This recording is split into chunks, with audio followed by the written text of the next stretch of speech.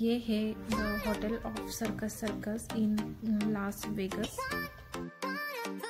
यहाँ पे बहुत ही सारे कसिनो हैं। ये इस कसिनो के लिए बहुत ही अच्छा होटल माना जाता है, क्योंकि मैंने बहुत सारे होटल वहाँ पे देखे, वहाँ पे ऐसा कुछ भी नहीं था, लेकिन